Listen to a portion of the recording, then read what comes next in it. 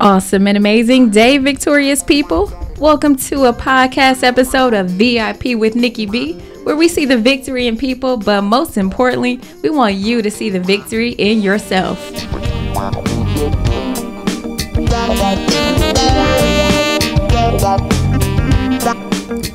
I am your victorious host, Nikki B. And I want to share something with you all. I, I think this is so important for us to know. Uh, when I read this information, I was definitely flabbergasted, shocked, um, at a loss for words. And I also thought, I need to share this information not only because I feel as if though I need to do something, but we all need to know this so that we take action as well.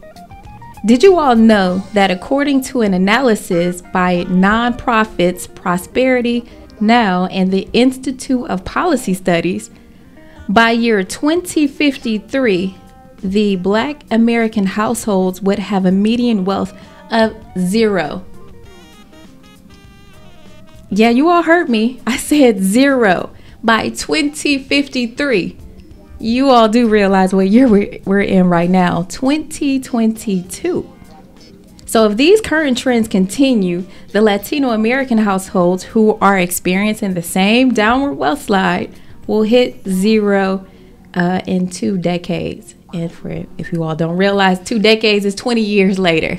So, uh, that was a, a hard fact but it's definitely if you don't know where you are you don't know where you need to go or what you need to do what you need to uh, recalibrate or reconfigure or redo or just look at things differently so that you know where you need to go and what you need to do and how you need to do that. So i definitely wanted to share that. That was shocking i know. That was definitely shocking. So let's get right into it right? Let's get right into it. I don't want to waste any more time. Let's shift gears here so, today I'm super excited because we are going to be talking with a firecracker. This young lady here, uh, I'm going to share the story on how we actually met. So, my girlfriend, you all have heard her here. Her name is Nikhil English. She is the owner and CEO of Callie's Candles. God, y'all go ahead and get you some candles. They smell super good. Real nice, real nice. Um, so, me and her decided to go, you know, out and have a good time and we decided to go to the Cleveland Museum of Arts, right? And they have this thing called First Fridays, and it's super fun. You know, the vibe is super just really different. You know, they have good food, the atmosphere is dope, the people look good. You know, you dress to impress because you just never know if you're gonna meet that Oh, okay, never mind. So they have good drinks and everything. And uh, when I met all of the young ladies there, this young lady was amongst one of them. So one of a funny thing about it is the people, the individuals' names. So there was Nikki, Nikki, Ari, and Ari, and then there was Christy. There were some other young ladies there as well, but we the one we were the ones that actually just stuck in there. So that was super fun, and that's actually how we met. So from that time, we connected and we've been good friends ever, ever since. since. then. Mm-hmm. And from that moment, um, I had the opportunity to relationship with her and to peel back some layers. And I'm, I was always pleasantly surprised to find out everything that this young lady does. So let's introduce this firecracker, this young lady. oh my goodness. When I tell you all she works like a Jamaican, no offense, Jamaicans, but right. you all work hard, you know? So yeah. uh, let me just share with you all. So, you know, she's a victorious individual. You know, that's exactly what we highlight here the victory in people. Uh, Miss Areaun is a CEO of three businesses, right? Yes. The first one is Taylor Made Consulting Services. Mm-hmm. The second one is Taylor Made Cuisine. Yes, she she know how to throw down too, right? and she has the third one is Royalties Express. Mm-hmm. And I absolutely love that name. You all know I do. So Royalties Express. That's super catchy and really fun. I really love that. But she is also a project expert former college ex- instructor, business program director at a collegiate level, meaning she's smart. She understands how to simplify things so that you know us laymen know how to under know under know how to understand what she's trying to relate to us. And she's a certified resume writer. Right? Yeah, so she's correct. super awesome. I love her. So welcome, Miss Ari Poo, because that's what Thank I call her. It's my. Ari Poo, right? Thank you so much, Nikki. You're Thanks for having me on your show. I'm really proud of you. I'm just you. sitting here listening to you and beaming with pride because I see what started as a small mustard seed how it's growing now like Oh. like really like a wildfire and I'm I'm just filled with so much excitement for you because I can kind of see you know the Mm-hmm. track that you're on and I can't wait to see all the things that God lays out before you Oh my because I feel like this is your thing this is your niche Thank you so much. Thank you. Yeah, and I just have a really good time and I have fun doing it. You know, uh, people would tease me like, "Dang, girl, is your conversation all questions?"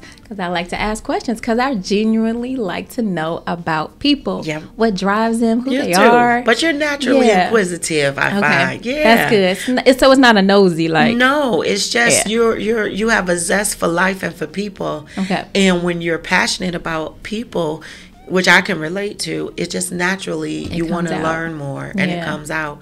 So you keep being you, Nikki. Thank you. Thank you, Ari. This is why she's my Ari Poo. She's always got me feeling all I good love, and stuff. I love that. uplifting people. I really do. Yeah. And clearly, you know, you have these different uh, services that you pro- provide. So you definitely have a thing and a, a knack for people. I like You do. want to serve and help people. Uh, so, so that that would be my first question to you. You know, what is the motivation behind all of the things that you do and the services that you provide? What's that motivation? I would say my driving motivation um, stems from a couple of different areas, but mostly I I will just say for my business, for example, Taylor Made consulting services. That's one of my longest running oldest businesses that I founded in 2014 when I was still an educator and I was working at the collegiate level and running programs for business, HR, and technology degrees. And I was teaching.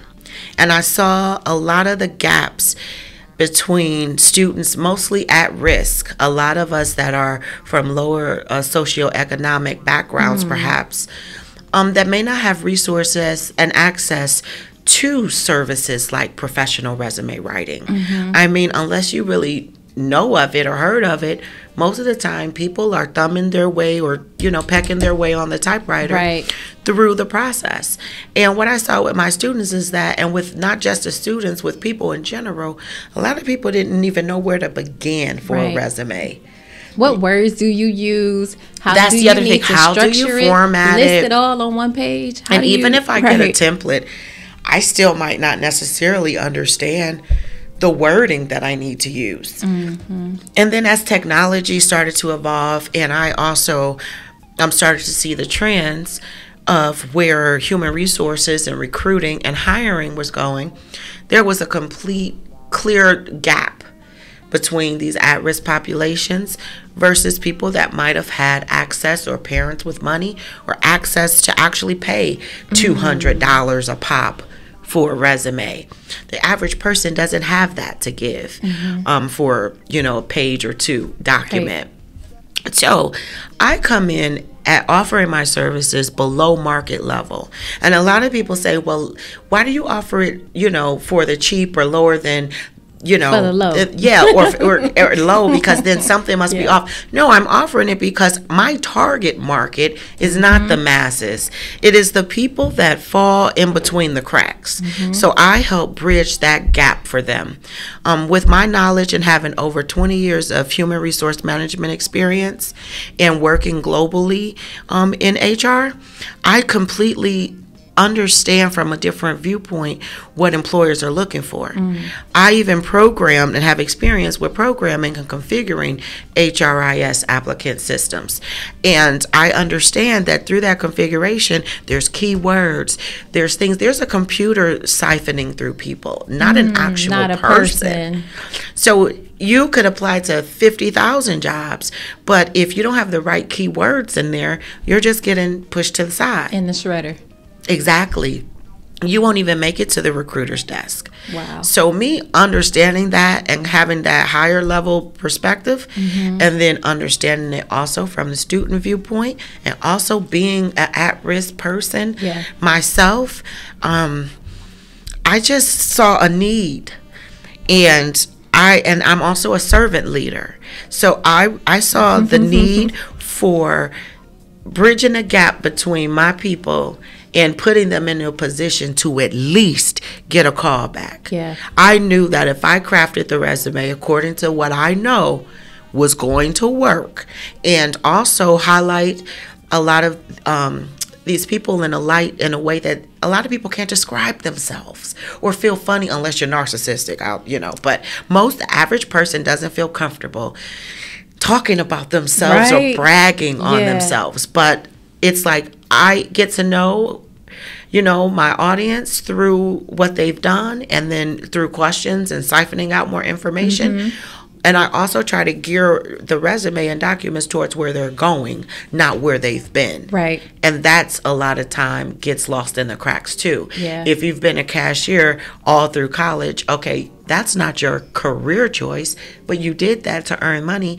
but you don't want them to just see you as a cashier now that you've graduated and you're trying to break into your career field Mm-hmm. so that's um, what i'm very passionate about is bridging the gap Are you passionate about your purpose? Are you walking in your purpose? Well, we want to highlight and showcase the victory in you on the most impactful podcast in the land, VIP with Nikki B, where we see the victory in people, but most importantly, we want you to see the victory in yourself. Reach out to me on Facebook at Nicole Nikki B Hutchins, also on IG at Hey underscore Nikki B underscore, and at YouTube Nikki B. So speaking of servitude attitude, right? The the ultimate example, the prime example, and uh, you know I love studying scripture and things like that. One of my favorite things. So speaking of that, uh, Matthew 20, 28, right? And that is, and I'm gonna paraphrase it a little bit, is the Son of Man gave us, you know, he gave us that example. But he said he didn't come here to to be served, but to serve others. Yeah. And ultimately gave his life life uh, as a ransom for many, not everyone, but for many, right? yeah. So that servitude attitude goes a long way. Why? Because it's infectious. And we as a people, we mimic what other people do. So if we're mimicking uh, people who are serving, guess what we're gonna do? We're other people, we're gonna serve too. Yep. Right. That's so, so of course there's those bad apples who are very selfish and things like that. And there does come a time where you need to be selfish and you need to, uh, you know, do for you first. Put on your life jacket Yeah, first before you're right. save other people. right. But for the most part, yes. You So know what I say? That the attitude of gratitude is the reason why I'm here.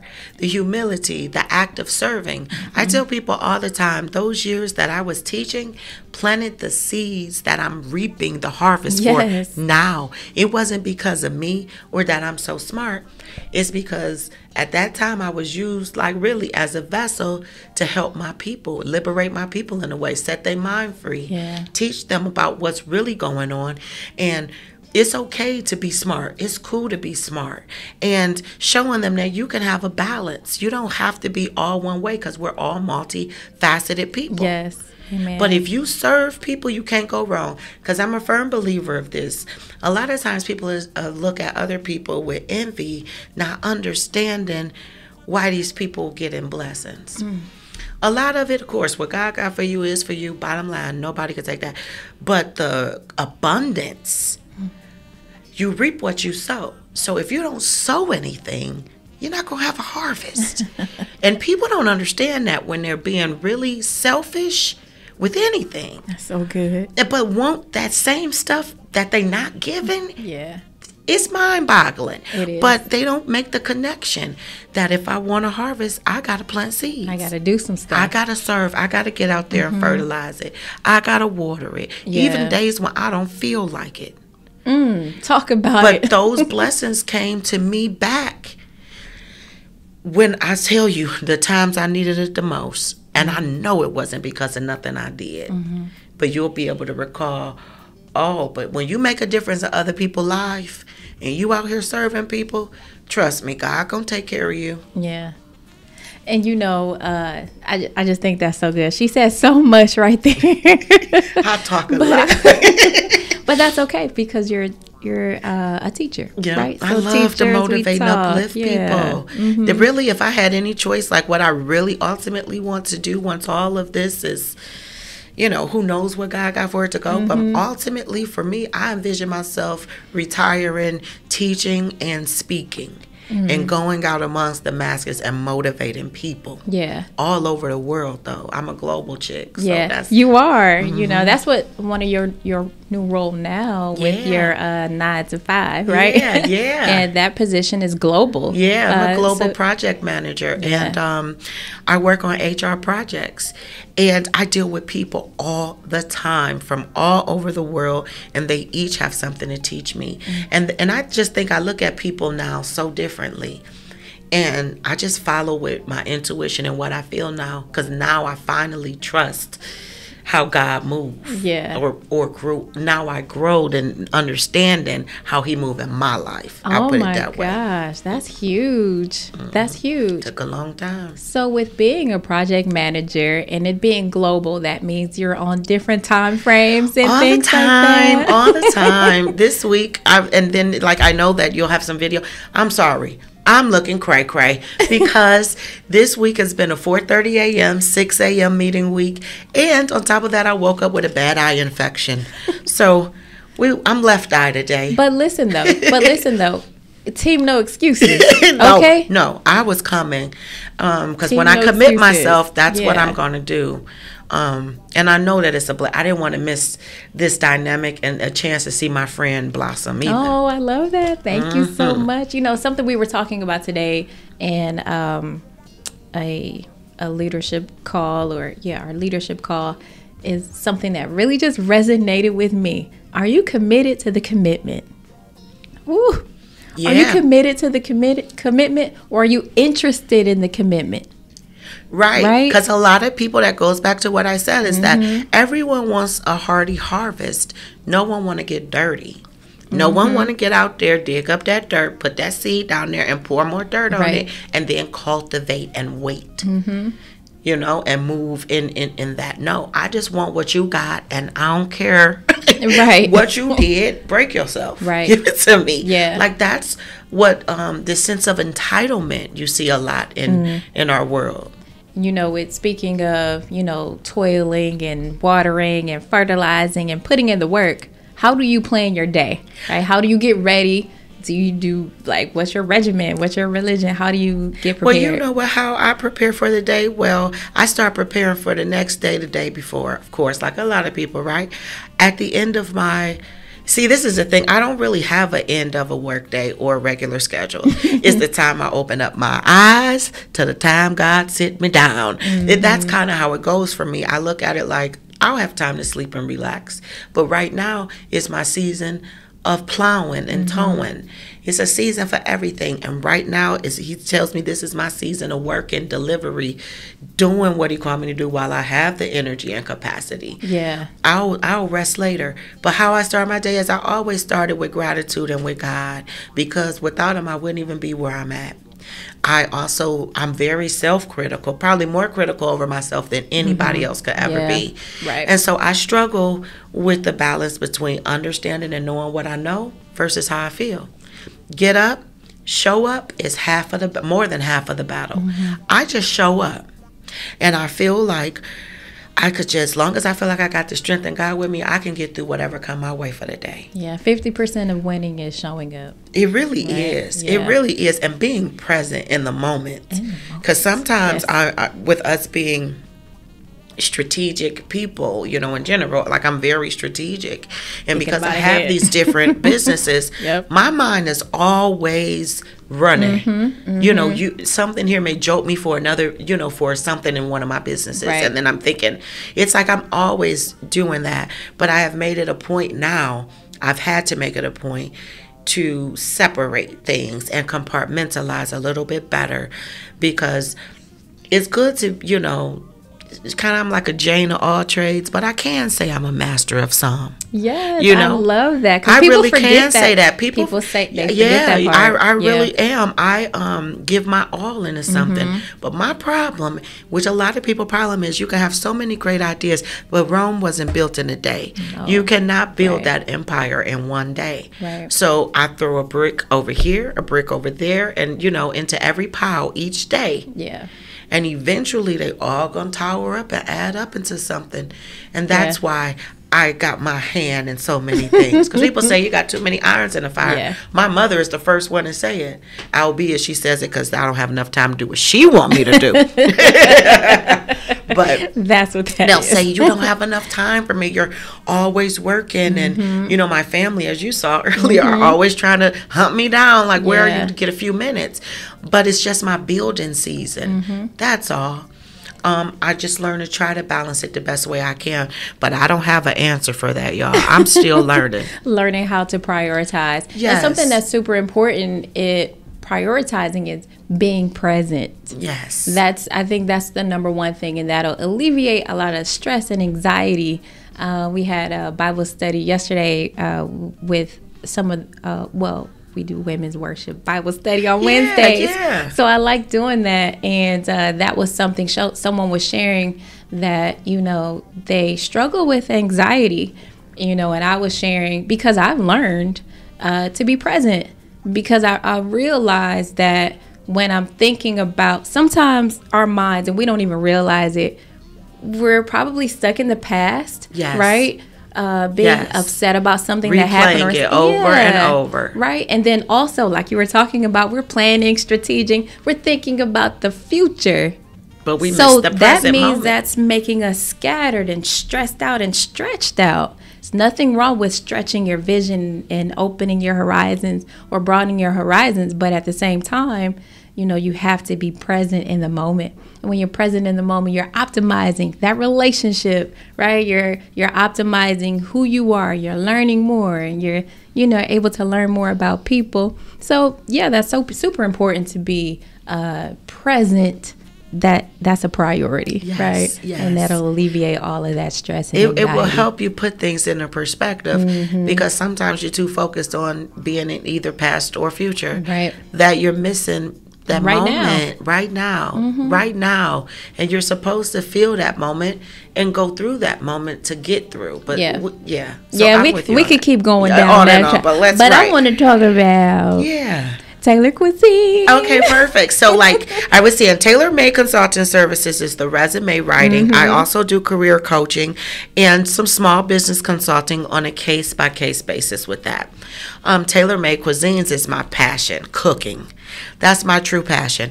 I love cooking for other people. Yes, she does. I love seeing people enjoy my food. So good. I love putting on the presentation. She sure does. And it's not. It's just for my friends, for family, whoever. I love feeding people. And I like to eat too. That's Yes. why I'm voluptuous. But I like feeding people. And my what makes tailor made cuisines different than other businesses that are, you know, selling food Mm-hmm. is that I again, I'm a niche girl. And I know that the the gold is in the specializations, it's in the niches. So where a lot of people do big event planning, big massive catering, you've got to have all these minimums. I'm a down the way around the way girl, basically. Like you having a baby shower, you want some good food, I'll cook it for you. You know, half pan or by the pan. I keep things practical, simple, and economical. I I don't have minimums. I do mm-hmm. things by the half pan or the whole pan. How many you order is up to you now. But I try to do it home style, family style. I'm into private, small event planning and private chef services. And when I tell you all, she likes to try different different recipes, Yeah. different foods. Um, I yeah, we she's had a couple of events. Yeah. Um, that I'm like, girl, she was like, please take the food, Take the food. home, take it home, and I'm like, as much as I could. yes, I love so yeah, people. I, I absolutely love that, and I could definitely attest that um, she is a really good cook. A lot of love is put into it. A lot of time is put into it, and she's been doing it for a long time. Yeah, so I've been cooking for a long time, Yeah. and um, it's hereditary for me actually, because it's really through both sides of my family. Okay. with the cooking, they're from the south. so you got it from both sides. So I got it That's from both good. sides. So I can't help it. Georgia peach and South Carolina. you know, so I, I got that in me. Yeah. Mm-hmm. And I just love sharing it with other people. I'm not even, I'm the type of person I could cook and not be hungry right then. I just want to watch everybody else enjoy Yeah, it. I love that. You uh-huh. know, Areaun, she's just. I told you all, she's a firecracker. and she's one of those firecrackers that has all the colors. She's not just the one color. She's the one that has all the different colors and it's gonna be different designs too when it when it go off. Yeah. So that's what I absolutely love about her. She's Thank so uh, multifaceted as she was talking about. Uh, there's a lot of layers to her. She's a sweetheart. She's professional. She's assertive. She's funny. she's all of those things. And I absolutely love that, you know, and do you do any outreach programs or how You know, do you I do anything like actually was into that a lot more when I was teaching. And something that made me bring about Taylor Made consulting services. My ultimate vision for it is to become definitely more a black owned, black, filled full of black women, Mm-hmm. um, motivationally consulting. And I would like to have some different youth motivational groups and things going on. Okay. Um, to motivate them because it starts when they're young. Yeah. I taught at the college level, but I saw so many gaps, you know, among those right adults. exactly And I figure if we start younger, you know, then we can break a lot more cycles. yeah So I would like to do outreach and would be open to doing any partnering for community outreach and speaking to the youth. Yeah, I think that's a great idea, and I think I don't think I can, I can see us doing some things together in the community and things that like that be because great. I think it's so important and it is valuable um, to because it starts in the mind, right? Mm-hmm. If you don't see yourself as such, whatever that Right. a higher victorious self is Right. you can't be there not only that if you don't actually physically see it how can you be it Or how can you believe in something that you've Amen. never been able to touch? yeah or see. That's why I think just period, even as entrepreneurs all over now, and it's becoming an even more revolutionary movement. Mm-hmm. We've got to do more than just sell our items. We've got to really try to find a way to work together Yeah. on common goals. We don't have to do the same thing. We don't have to be BFFs, but if you're doing something to service our people overall, any people, but definitely our people, I'm sorry. Yeah. You know, but if you're doing something for that and everybody is focused on that goal, then you we can move mountains. and we can move mountains and we could definitely take off you know the statistics And that i just showed each other in those positions. zero by 2053 Yeah, that's scary. that- and I think that honestly, it's heading that way now before 2023 if they don't get rid of these student loans and a couple of other things going Mm-hmm. Yeah. on, like this upside down inflation. yeah But the whole point of that is to say they done counted us out so many times before, though, Mm-hmm. right? And right now, what they're scared of is happening. Minorities are becoming the majority, Yeah. and that is the big. The big elephant in the room, Yeah. Mm-hmm. and that's why all of these tactics are being employed. So I think that that's going to turn around, actually, but we'll let them run on with that. Yeah, because that's another podcast episode. Sure is, right? We could definitely travel down that Okay. and have a conversation about that. Um, so, with all of this, you know, you serve, you are, you know, you want to help people and things like that. Mm-hmm. So, how can I reach out to you, or how can the Victorious people reach out to you if they need some help with their resume? Because let me just put this in here. The homegirl did help me with my resume, and I That's actually right. went for a position that I would not have normally went for and I was actually one of the candidates, one of the finalists Yes. after all of every once everyone was uh interviewed and thing like that I made it to the second round and the third round but I ultimately think of course I was the person presenting it but the way that she worded my resume I was like who Is this me? me? But it was you. But it was me. She just used uh, keywords and things like that. So I'm saying that her her services work. She's not, you know, I've fugazi or anything yeah. like I've that. got real thing. testimonials. Yeah. I've got a real life website. Mm-hmm. Um, uh, if you want to reach out to me, please visit me at www.tailormadeconsultingservices, all one word, dot com. So tailormadeconsultingservices.com is my actual website. There you can peruse um, the different services that I offer, book a resume service or a career um, or coaching session. You also can take a look at our inspirational products because we also offer merchandise to uplift and empower both men and women. Um, you can also catch us on Facebook or IG at Tailor underscore made underscore consults. And then we're on Facebook too as Taylor Made, Taylor Made um, Consulting Services and Taylor Made Cuisines. Same thing on IG as well. Well, you all, she laid it out for you. She she's letting you know exactly how to reach her, how to improve on yourself, right? How to get some tasty food and get some victorious and some um, royalties, yes. right? Some royalties. And royalties but, express is was like my um it's it's my pet baby and I've actually kind of put her back a little bit okay. because I wanted to focus more on getting Taylor Made cuisines off the ground and I wanted to focus more on streamlining Taylor Made consulting services. But Royalties Express is coming back. And this time I'm actually making it more, instead of just like a t shirt novelty store, mm-hmm. it's going to be a full fledged men and women boutique. Okay. And I'll offer homewares and um, canvas art and home decor and different novelty items, but all in a spirit of uplifting my people. Yeah, and I absolutely love that. Inspiration is what it's all about. Well, victorious people, you all heard it here reach out to Ms. Areaun for all of your consultant needs. And I know y'all want to feel like you know you want to get some of that good home cooking food too. Yes. So she'll definitely help you out with that. My girl Ari Pooh, thank you so much for thank joining you for us having today. me, and I'm so proud of you. Thank girl. you so much. She is truly victorious. Uh, this has been another awesome and amazing episode of VIP with, with Nikki, Nikki B, B. where we see the victory in people, but most importantly, we want you to see the victory in yourself. So don't forget to like, share, and subscribe so you don't want to miss our next victorious conversation.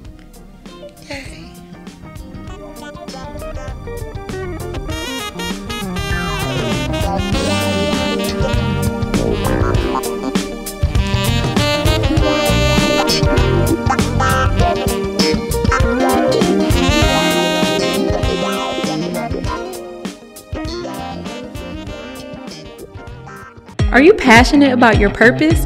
Are you walking in your purpose? Well, we want to highlight and showcase the victory in you on the most impactful podcast in the land, VIP with Nikki B, where we see the victory in people, but most importantly, we want you to see the victory in yourself. Reach out to me on Facebook at Nicole Nikki B Hutchins, also on IG at Hey underscore Nikki B underscore, and at YouTube Nikki B.